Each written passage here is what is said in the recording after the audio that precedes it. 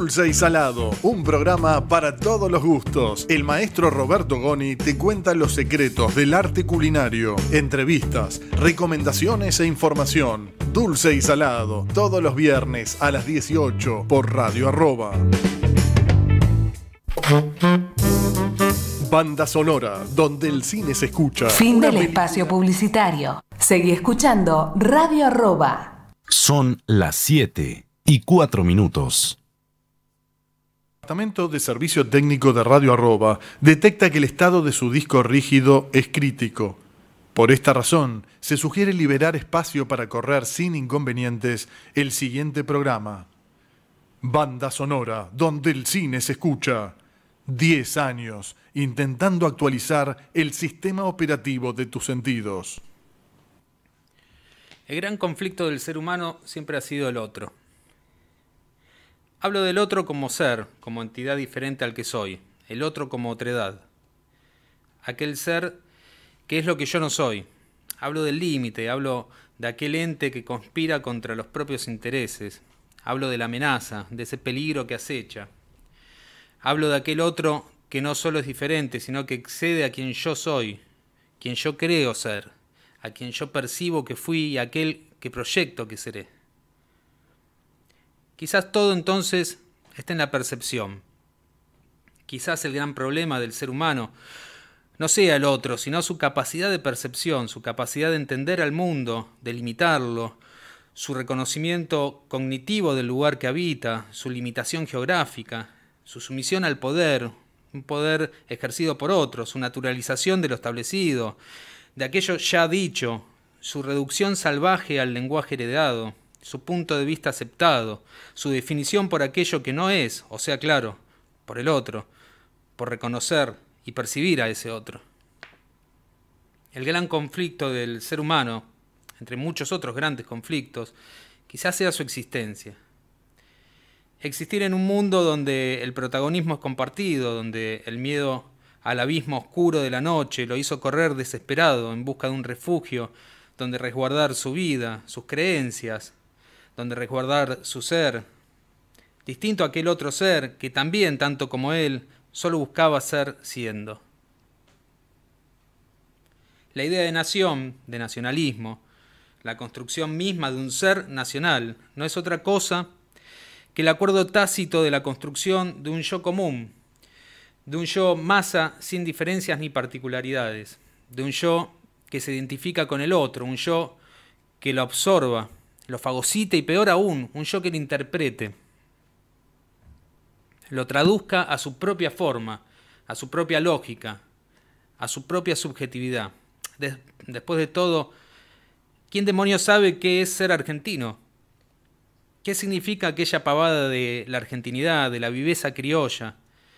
¿Acaso nos define comer asado, bailar un tango, o tener preferencias por este o aquel equipo de fútbol? El ser nacional es introducir al otro en un relato propio, es hacerlo accesible, convertirlo en la propia ficción, violentarlo, violarlo en lo más profundo de su miserable existencia, traducirlo a la propia lengua, declararle la maldita guerra a su ser, reducirlo, domesticarlo, hacer de aquello un otro posible, a sabiendas de que se trata de un radicalmente otro, de un ente inabordable y sin acceso alguno, de un ente inalcanzable.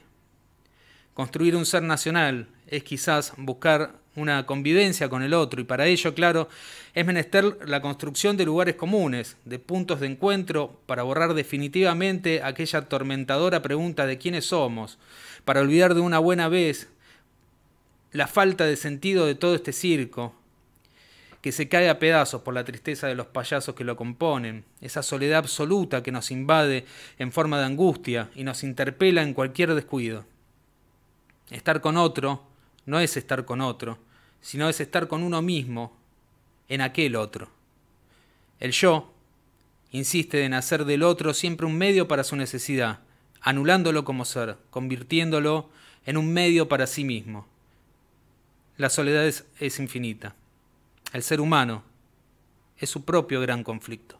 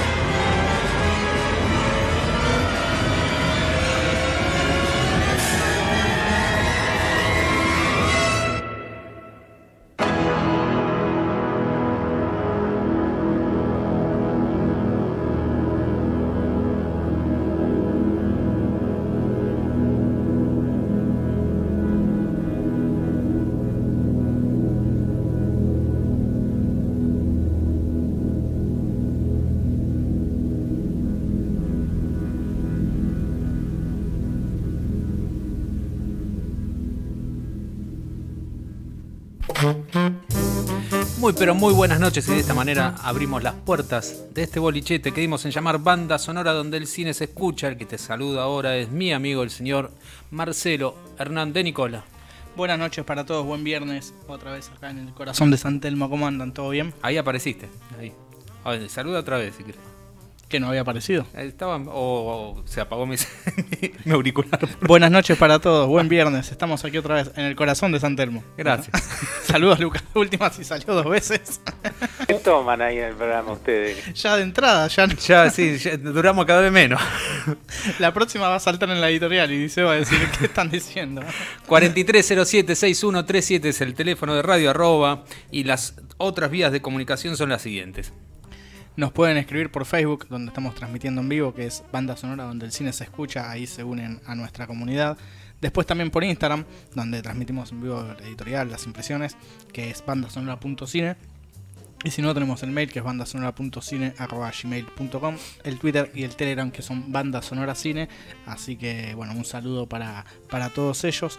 Descubrí que el Telegram, eh, a veces lo que pasa, por ejemplo, eh, voy a filosofar sobre Telegram, que no la conozco mucho la red, pero, por ejemplo, vos eh, estás en un grupo y por ahí lo, lo, lo eliminás, ¿no? El grupo, pero y, y por ahí no te van llegando las notificaciones. No sé si pasará eso con, con el nuestro. Fue un poco ejemplo. clara la consigna, pero. Claro, por ejemplo, vos tenés, yo tengo el Telegram de banda sonora. ¿no? Sí. Pongo archivar chat. ¿No? Ah, ahí tirás una máquina. No sé qué es archivar. y Me parece, sí, archivar. eh, archivar Y es después que- lo volvés a, ver. poner y después por ahí los buscas, pero ya las notificaciones no te aparecen.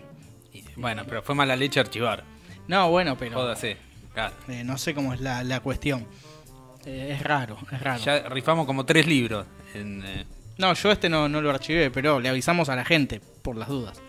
Yo archivé, por ejemplo, el Telegram tiene algo que es muy, muy Pará, muy archivaste raro. el de banda sonora, sos no, una no. rata. no, no, no, no, no, el de banda sonora no digo.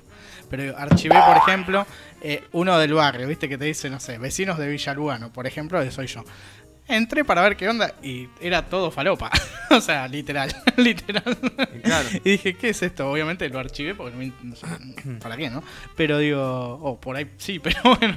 Eh, el tema que después dije, Para el fin de largo, ojo, ¿eh? después dije, si eso pasa con, por ejemplo, el nuestro, banda sonora, alguien lo archiva pensando que después le van a llegar notificaciones y no lo No, no lo ve queremos más a ese señor. Oiga. O señora. ¿Qué, qué tiene que archivar? Mala leche. Claro, eso también puede ser el silencio No, del tiene, grupo. tiene eh, más allá de que lo silencie, porque yo lo tengo silenciado, eh, hay veces que Telegram no te manda mm, las notificaciones, no sé Claro. por qué. Sí, sí, a mí me Pero, pasa pero eso. no es porque archivás o... Debe haber algo en la configuración que... que falla o que no lo entendemos. es lo que dicen los viejos cuando no entienden. Un artefacto eléctrico que dice no anda. Claro. ¿Lo enchufó, señor? El otro día leía un- una historia así que era alguien que decía que había comprado un lavarropa. lo ¿Yo había estoy gritando mucho o no escucho? lo- había armado el lavarropa, todo y tuvo dos horas y no anda y no anda. Y vino el técnico y le dijo, y no lo enchufó, señorita. Jodeme. No, Sí. Estaba, estaba en, en un Twitter que leí en un hilo. Estoy saliendo perfecto, gracias. Me dicen que siga, seguí, seguí, seguí, seguí, me dicen. Bueno, después, eh, bueno, dijimos que tenemos ya el Telegram. eso. Y por último, eh, banda sonora donde el cine se escucha, .blogspot.com.ar es el blog, ahí tienen todo. La verdad es que no tenemos el programa muy preparado hoy. y demás. ¿Por qué no? Así que por eso estamos hablando de Telegram. Usted no, no, yo. Vamos a hablar Oh. próximamente de Facebook. Me voy a quejar yo de que para viejos y bla, bla. Pero bueno, ¿con qué seguimos? Tercer. Podemos saludar a en nuestros amigos. ¿Me deja saludar a un par de amigos que tengo? Bueno. Todavía tenemos amigos, a Pablito de Radio Positiva, quien tiene la heroica tarea, como decimos siempre, de reproducir este programa los jueves a las 21. Saludamos a los chicos de Lutería en Congreso, servicio integral de lutería, construcción, mantenimiento y reparación de instrumentos de cuerda. Los buscás por Facebook e Instagram como Lutería en Congreso. El mail es luteriaencongreso.gmail.com. El teléfono es 1160 32 94 11. Saludamos también a los amigos de la COP Librería Bulnes 640. Los encontrás de lunes a viernes de 15 a 20. Van a estar en la Feria del Libro con stand. Así que Guardiola. El Insta es arroba la COP Librería. Nos vamos a ver también el lunes con la gente de la COP Librería. Vamos a hacer el, el show de siempre. ¿Quiere que le diga algo? Dígame, a ver. No, bueno. Están, eh, eh, están en rojo con nosotros esos muchachos. Tenemos Ah, que hablar. sí, tenemos diga- hablar. dígales, mejor dicho. Eh, pero si bueno. está Hernán escuchando, usted sabe. Ya va a venir va agarrar a piña acá. Va a venir caminando, va a llegar a las 8 en punto Le voy a llevar el asado frío. y nos va, nos va a fajar, me parece. Seguimos con. eh, yo me saqué los lentes, soy un campeón. Bueno, seguimos con el ciclo de neorrealismo No es el único italiano. que está en la Feria del Libro, ¿eh? Pues fíjate, El amigo Bugiari también está en la Feria del Libro. ¿va a leer? No sé si va a leer, pero dice, los esperamos en la Feria del Libro 2023. Están 8.32, pabellón verde. Imagino que... Nos podemos ir a sacar foto con Pablito. Así que... Mandamos un beso, la- bien. La, historia Estamos- de Discofren, ¿no? El, tiene el libro sobre la historia de Discofren, ¿no? Que fundó su abuelo, una de las grandes eh, de, de los grandes eh, personas que trabajan en el TC y demás. Gran inventor el abuelo. Eh, Frenar para ganar es el libro. Así es. Recuérdenlo, está, es muy, muy buena la historia. Está muy buena la historia. Seguimos hablando, ciclo de cine neorealismo italiano. Vamos a hablarte de una película de eh, Roberto el Facho Rossellini. ¿Por qué? Ya va, ya va a ver usted. Vamos a hacer una pelea al aire que la tuvimos vía. Sosnowski se agarra la cabeza y dice: ¿Por qué esta gente? ¿Por qué me los tengo que fumar yo? Eh, la tuvimos vía eh, WhatsApp, eh, como se debe, como se hacen las preproducciones hoy en día. y como uno se pelea hoy en día también. La síntesis de la peli dice así: se llama Alemania Año Cero.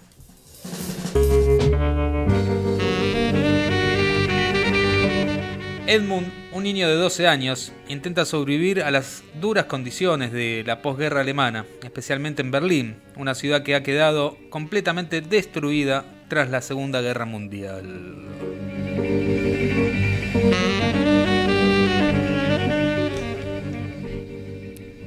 Desde un edificio en ruinas se ven las heridas de un pueblo que quiere cicatrizar. Años, décadas y quizás hasta siglos harán falta para deshacerse de los fantasmas. Aunque algunos todavía habitan escondidos en sus refugios. El superhombre, imaginado por Nietzsche, viró de tal manera que se transformó en una masacre. El poder y la ambición se coronaron como vencedores de un juego sin igual. Miles de mentes fueron seducidas por los discursos del odio. En algunos lados nada ha cambiado. Se siguen vertiendo esos discursos sin entender cuál puede llegar a ser su peligro. Y la propaganda mediática sigue al servicio de ellos. Pero volviendo al pasado, ¿cómo jugará en la mente de un niño semejante violencia? Será quizás hasta natural. Crecer sin sentirse culpable de la locura que le tocó vivir será la principal apuesta desandar los caminos de la miseria, rodeado de pobreza y marginalidad, será la moneda corriente de esos primeros años. Esa culpa invadirá tanto a sus habitantes que hasta los símbolos patrios serán puestos en duda. Esas ruinas son las que impactan en el primer visionado del film Alemania Año Cero de Roberto Rossellini. Berlín es un esqueleto gigante que parece descomponerse de a poco. El director, famoso por ser el primero del neorrealismo, muestra las penurias de un pueblo hundido, hundido por sus propias decisiones. La cámara seguirá al joven Edmund, un niño de 12 años por, la- por las calles alemanas. El intento de sobrevivir y la muerte que acecha estarán presentes todo el tiempo. Ya desde el comienzo lo vemos al niño remover tierras para crear tumbas y ganarse alguna moneda. Pero es expulsado por tener menos de 13 años. Roselino nuevo nos mostrará a su familia, entre los que se encuentran su padre que se siente una carga para todos, para todos los que viven allí, su hermana Eva, quien sale por las noches con soldados aliados, y su hermano Karl, quien está escondido por haber sido soldado del régimen nazi. Los escenarios naturales hacen todo más dantesco. La fotografía en blanco y negro permiten ver el juego de luces y sombras de esos edificios demolidos. Algunas tomas se hicieron en esa Berlín sacudida por la guerra, lo que hizo que ciertos planos parezcan documentales. El director utilizó planos largos y amplias panorámicas de la ciudad para generar ese vacío, para que todo sea más deplorable. La cámara en mano y sus travelings largos logran que el andar, la mirada y las expresiones de Edmund sean más naturales. El guion será lineal y se trabajó bastante con la improvisación, en particular en las escenas tomadas al aire libre. Como casi siempre, contó con mayoría de actores no profesionales. Al igual que Humberto D., el film no es 100% realista, ya que se trasladaron a Italia para las acciones situadas en el interior de la casa.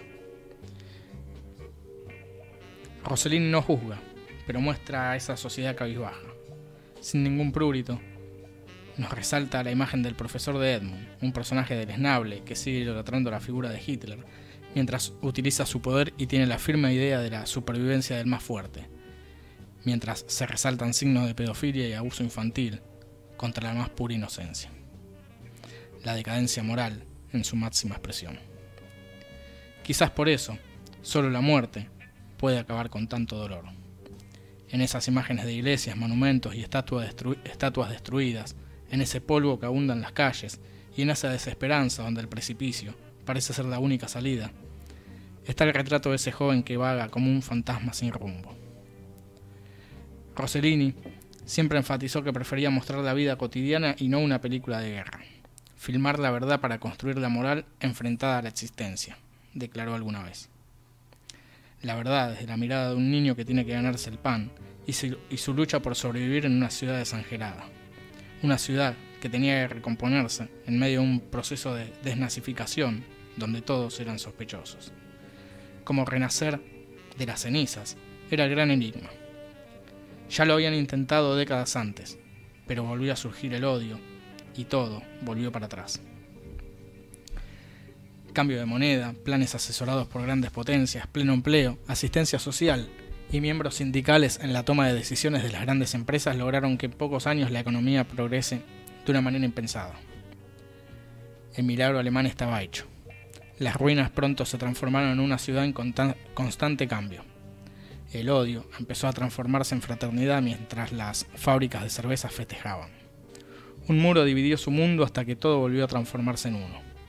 Las máquinas siguen trabajando y los edificios se vuelven cada vez más lujosos. Pero ojo, los fantasmas están ahí, todavía escondidos, pero con ganas de salir en cualquier momento para volver a purificar esa raza aria que hoy sienten transformada. Porque el miedo siempre está latente, esperando abrir esa jaula para que ciertos monstruos nos sigan acechando.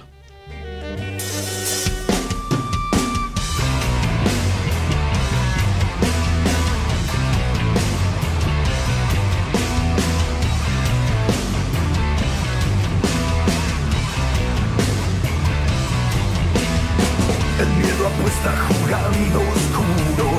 La jaula nueva con vos va a probar. Detrás de la ignorancia que mata, un buen consejo te puede arruinar. Cerca del riesgo esta noche existe otra oportunidad. Cerca del cruel mañana, tan cerca de donde vos estás.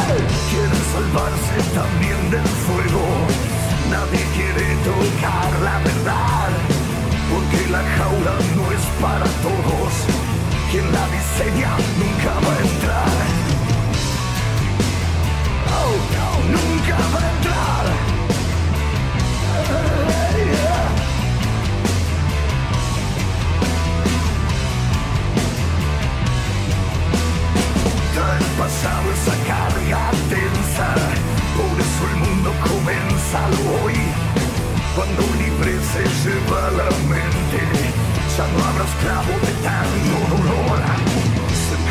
riesgo esta noche.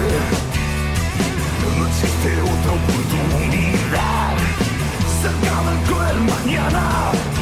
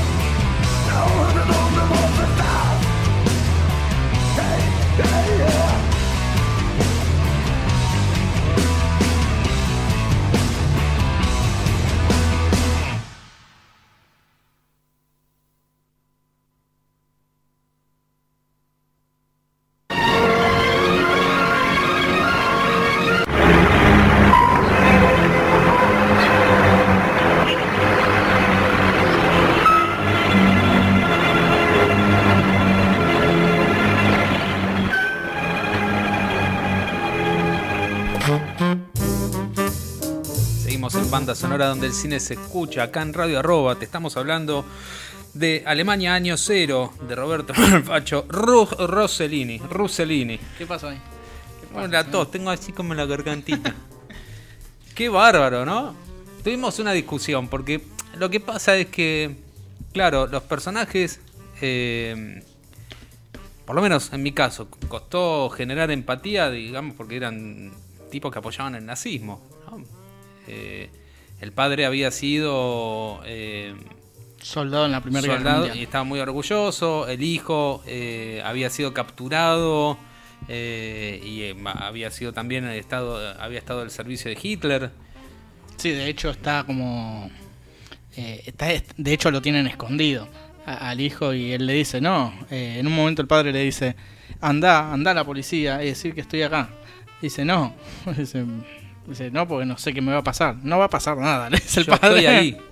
Claro. Ya sé que no, pero yo estoy ahí, decía Claro. la canción. Claro, dice, no, no va a pasar nada, le dice el padre. Tenía razón el padre, el, No, pero- el pibe, digo. Eh, no, no pasó nada, digamos. Eh, Cuando eh, cae la racia, lo- Ah, sí. él toma valor y dice, no, por mi patria y por mi bandera, como dice el chiste, qué sé yo. Eh, tipo baja, se entrega y lo devuelven hasta otro bañado. día. Sí, sí, al otro día. Qué lindo. Sí, sí. Qué linda Alemania. ¿No? Sí, igual esos eran los- ya los aliados, digamos. O lo- los. o, los que habían entrado en el país, supongo, los estadounidenses, imagino. Eh, Ah, No, no, le hablaba muy bien en alemán ese señor. El soldado Ah, que el hace soldado, la racia. Sí, no, no, no, no sé, igual. Digo, qué sé yo. Hay, hay situaciones puntuales donde los personajes se declaran a favor eh, del proceso Sí, sí. nacional y popular de señor Hitler. Sí, sí. Eh, pero en un momento el padre lo dice. Él dice, si hubiese sabido cómo terminaba esto. Dice, no quiero ni. En un momento dice, no quiero ni pensar. hubiese pasado". ahora está arrepentido. Y bueno. eh, es- ¿Qué pasa? ¿Tenemos hambre? No. ¿Qué pasa? ¿No tenemos remedio?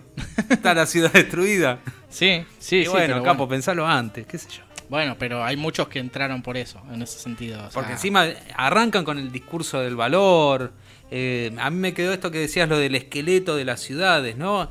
Es el resultado un poco de lo, de- del miedo que, eh, que nace con el expresionismo alemán, ¿no?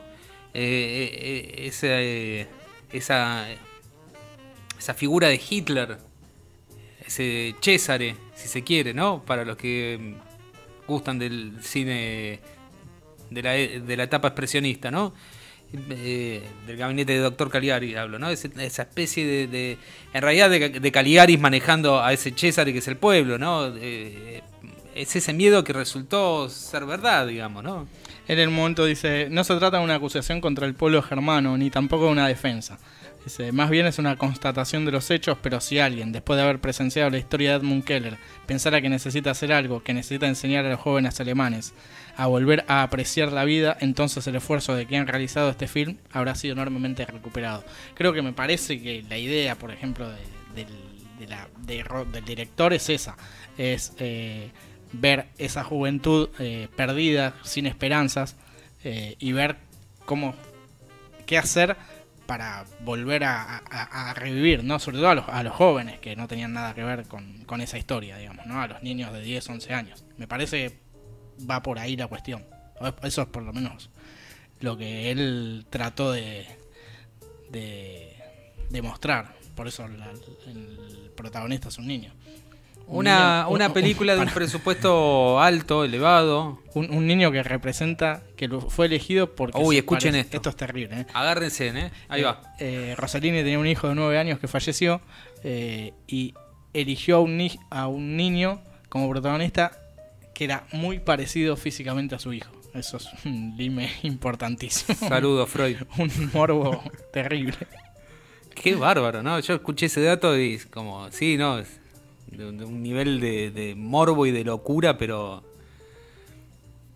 Sí, sí. basta, señor. Claro. No lo haga nunca más. Claro, sí. Esto está mal. Encima, bueno, después tuvo hijo por todo lado, bueno, eh, con Ingrid Bergman, ¿no? La famosa Ingrid Bergman. Jódeme. Claro, Isabela Rossellini, la protagonista de Terciopelo Azul de Blue Velvet, por ejemplo. Pues fíjate, viste, te tiro todos los datos. uno Sí, muy otro, bien, estoy- muy bien. estoy a- bueno, eh, una peli de, de alto presupuesto, esto que decíamos, eh, y, ya el público se debe estar preguntando, el ciclo de, de, eh, neorrealismo italiano y hasta ahora van dos películas que más o menos son de neorrealismo, son fund- fundantes, digamos, de, del movimiento, pero no cumplen por ahí con, con, eh, las bases del dogma, digamos, ¿no? De- del movimiento en sí, que es...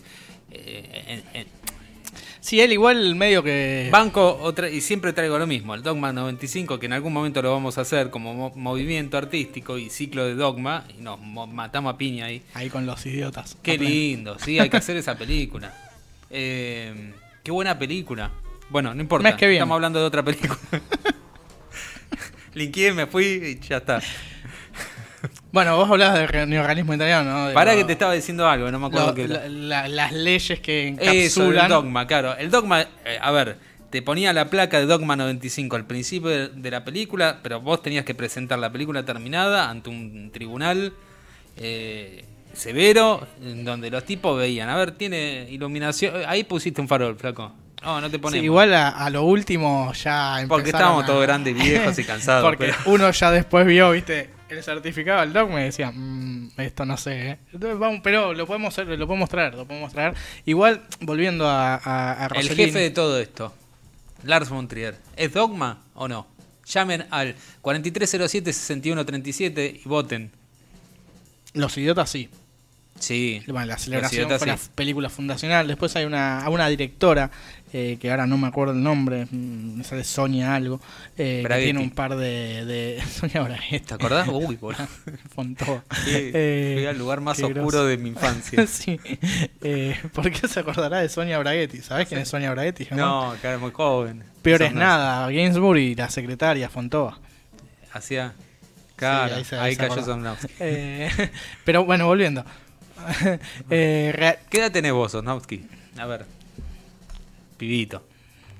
Nosotros, eh, Ah. 43 acá, quien les habla, 39. estamos hechos mierda. Che, la- Se está volviendo una charla personal, ¿no? una charla de bar con el operador que la gente no escucha encima, eso lo... O sea, nosotros estamos todos charlando con él, pero la gente No, no, la otra sabe. vez chequeando un programa se escucha pero bajito. Eh, Pongan más Bueno. alto, señora. Eh, bueno, No, eh, y aparte, bueno, estábamos hablando del neorrealismo italiano, nos fuimos al Dogma 95 a nombrar películas, de- nos aburrimos de nuestro peores- propio programa. a peores nada, no fuimos nada que ver. Después a peores, nada. Digo, No terminemos con rompeportones, lo único que pido. Es todo lo que está mal este programa. No. es polémico. No se escucha lo que dice. Tenés que tener No. un micrófono del otro lado. Eh, volviendo, eh, vos decís que sí, que no se ajusta a ciertas eh, reglas por ahí del neorrealismo, pero el mismo Rossellini, quizás el fundador, porque la primera película Sí. eh, Roma Ciudad Abierta fue, eh, fue de Rossellini, renegaba de, de, de eso. Él decía que lo que hacía era realismo. No, o sea, que se llamó como una corriente, pero que lo que hacía era realismo y mostrar eh, lo que pasaba, eh, le, le pasaba a la gente, sobre todo a la gente que tenía problemas sociales. y. La idea de realismo de Bresson, Claro. bresoniana es. Claro, bueno, venía también parecido. del realismo poético francés y demás. Les tiramos, está bien, hablamos pelotudeces, pero tiramos dos o tres conceptos re duros, re duros que. De, de hecho, Más de uno lo tiene que ir a googlear ahora. ¿Vieron que estudiamos para el programa? de hecho dice, hay un hay un libro que se llama Dos palabras sobre el neorrealismo, en donde Rossellini tiene un par de declaraciones. Una de ellas es, soy un realizador de films, no un esteta, y no creo poder indicar con toda precisión qué es el realismo. Sin embargo, sí puedo decir como lo siento yo, cuál era mi idea sobre él. No, como diciendo, bueno, esto es lo que yo hago. Bueno, Bresson ahí se juega, se juega y plantea lo que es lo real para él. Se mete en un quilombo filosófico. Claro. La hostia. Sí, sí. Bueno, la Novel Vague Por fue eso lo como- bancamos tanto a Bresson también, ¿no? La Novel Vague fue como el, el- el hermano menor, ¿no? de- Del neorrealismo en ese sentido. Claro, claro, O sea, claro. Si no hubiese sido. A ver, si hubiese, si no hubiese existido el neorrealismo, hubiese existido la Novel Vague. ¿Usted qué Toma opina? para vos. Llama al 4307-6137 y vota. Es una buena, Ya tenemos dos votaciones. es una buena Eh, discusión, ¿eh? Estallan los, los teléfonos de Radio Arroba. Eh, actuaciones. ¿Qué tal las actuaciones? Y tiene esta El cosa de época, ¿viste? Bueno, pero por ejemplo, el padre, El padre es un actorazo. es un, acto- es un actor de la época del cine mudo italiano de acá del 10. O sea, por eso decimos que no es 100% neorrealista. Eh, después sí, la mayoría son actores no profesionales, eh, gente que encontró en la calle. La mayoría de los chicos eran chicos de la calle que estaban pidiendo monedas, al, al estilo de Cupas, digamos. Me gustó el, el- el amigo eh, cuando se va a laburar con los pibes. Eh, Hay uno de los pibes que actúa muy bien, el más grande, el que Sí. vende el jabón. Sí, sí, sí, excelente. La escena del tren. Eh, eh, va, vende un jabón, y cuando le están por dar la guita, pum, agarra y sale al trote el pibe. Muy, él, él y la chica también muy, muy bien los dos. No, la chica pésima, la, la No. chica, la, la que estaba... Sí, No, no podía decir dos palabras. pobre. Qué feo, ¿eh? me desacredita. No, pero pobre, no, está pero- bien. Aparte le dieron dos palabras, muy Sí, machista no, la no. cosa. Sí, sí, bueno, el personaje de, de la chica era bastante fuerte en el sentido de que por la edad que tenía, ¿no? Era bastante rapidita. Qué feo. no, pero, Sacamos yo de acá. pero era así. O terminemos hablando No, de rompeportones. No, pero, pero era así hablando del machismo. Por eso digo, Ah, desde sí, ese punto de vista. Desde el punto de vista planteado por, Claro, eh, por el facho de Rossellini. No Otra cosa, a ver qué opina. Eso, no, dígalo, diga, diga, tire el dato de los guiones que No, le pero escribía lo- Mussolini. Pero después eso, cuando venga la historia... A usted le escribió Mussolini, dígalo, y usted Eso en aceptó. un rato. La eh, Rossellini afirma en esta en esta entrevista, en este libro, dos palabras sobre el neorrealismo. A ver, a ver escuche usted. Está desmadrado un poco el programa, Eh, ¿no? Escuche y, y- y atienda. A ver, dice, la aparición del neorrealismo hay que buscarla. En primer lugar, en cientos documentales novelados de la posguerra. Después en films de guerra con argumento y finalmente, sobre todo, en algunos films menores en los que la fórmula, si podemos llamarla así, del neorrealismo se va configurando a través de las creaciones espontáneas de los propios actores. El neorrealismo surge, pues, inconscientemente como film dialectal. Más tarde adquirirá conciencia en plena efervescencia de los problemas humanos y sociales de la guerra y de la posguerra. Y a nivel del film dialectal, el neorrealismo se remite históricamente a antecedentes menos inmediatos, dice. ¿Quién dice señor. Rossellini. Se meten con el tema de la palabra dialéctica, ¿no? A estos Sí. tipos les encanta. Sí, sí. que no, no era, no era un gran escritor, por lo que tengo entendido, de los de guiones. No era un Fellini en ese sentido. Bueno, de hecho, eh, Y porque tenía otro que le escribía, Fellini era el, el que que escribió terminó para... colgadito en una plaza. hace mucho- No, no, pero... Se cumple años. Hoy, sí, sí. Eh, ¿Cuánto era? Sí, ¿68? Puede ser. 78. De, del- de que lo colgaron a Mussolini, justamente. Eh, hoy. Eh, o lo colgaron ayer, pero apareció hoy en, en la vía pública. Eh, Chicos, no cuelguen a sus dictadores en la plaza.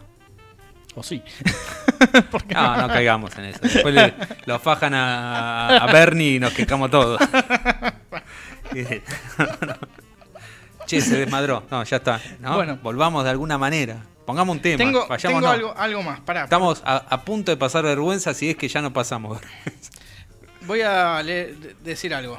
El mejor programa del Voy a decir algo para irnos. Esta es lo, lo que dice el padre del protagonista, ¿no? Cuando hablábamos de que él se, si sentía culpa, lo que pasó y demás.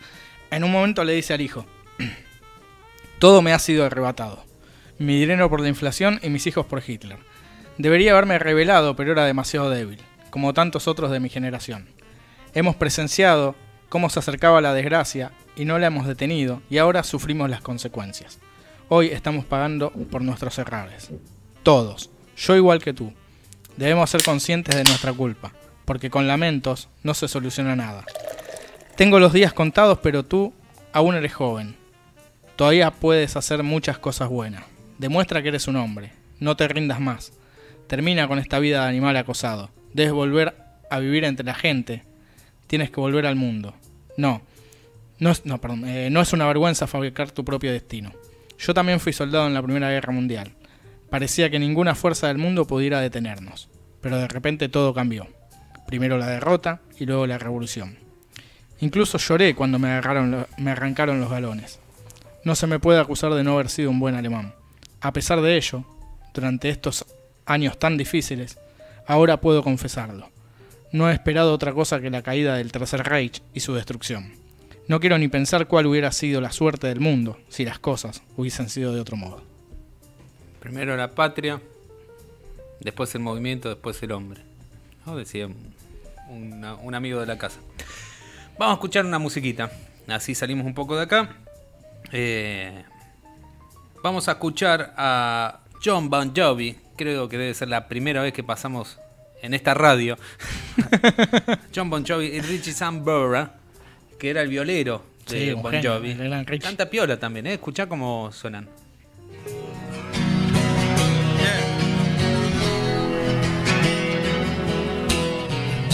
Imagine there's no heaven. It's easy if you try. No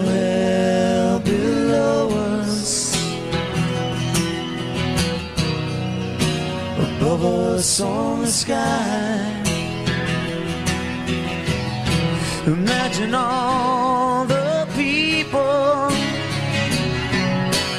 living for today. You imagine there's no country. It isn't hard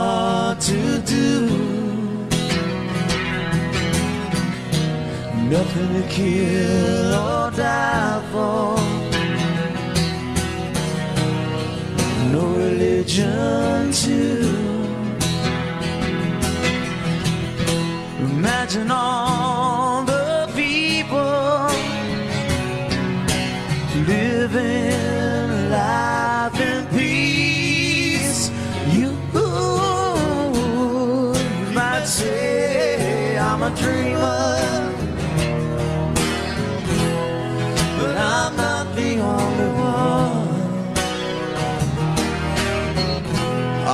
someday you'll join us and the world could as one.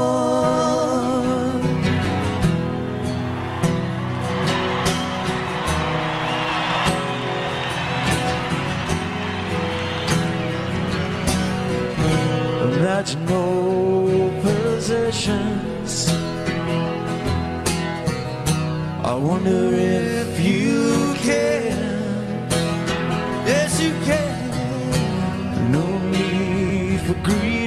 wonder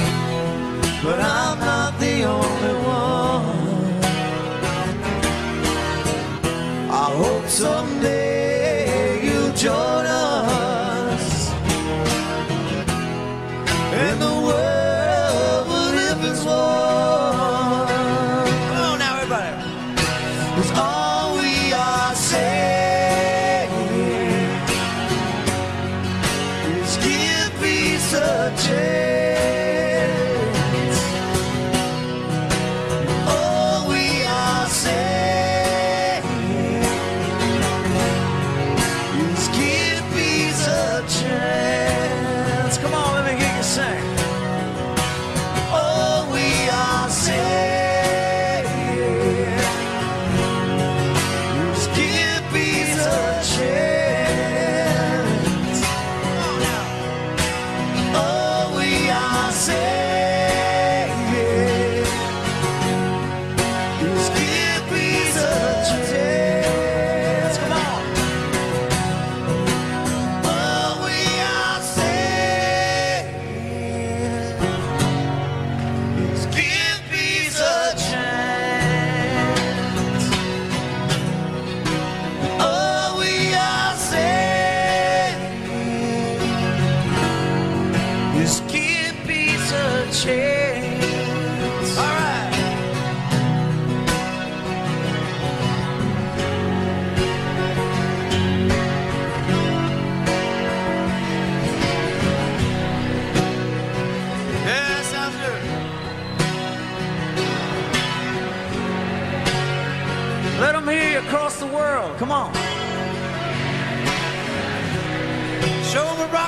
do, man.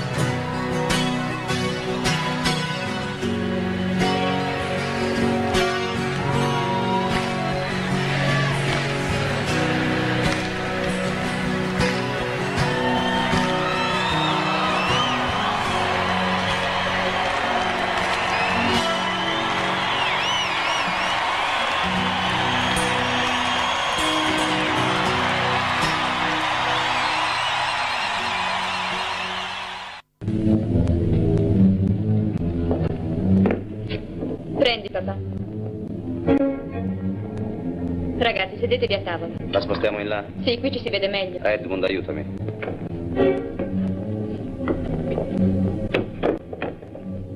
Ecco.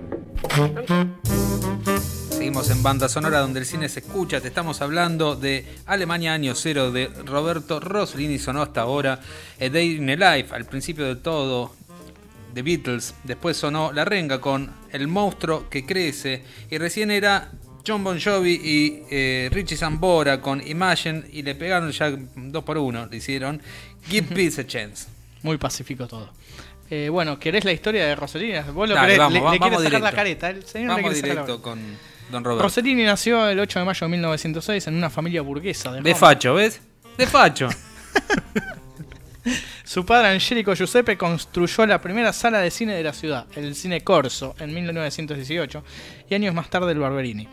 Eh, Rossellini pasaba mucho tiempo en esas salas, conoció el trabajo de Kim Vidor, influencia determinante en su carrera. Al mismo tiempo tenía un fuerte interés en la mecánica que eh, plasmó en inventos de gran ingenio. Llegó a construir un sound modificada de 25 a 250 milímetros con control remoto, utilizado en muchas de sus películas, ¿no? Y hay otros inventos. Si uno entra a la, historia de, de Rossellini, hay un montón de inventos así que hizo mecánicos y todo. Qué bárbaro eso, ¿no?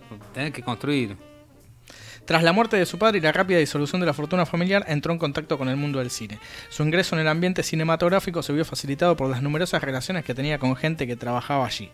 Su primer trabajo en la industria fue como técnico de sonido. Comenzó su carrera en 1936 dirigiendo algunos cortometrajes y realizando documentales con temáticas naturalistas como Fantasía Submarina, como Fantasía Submarina.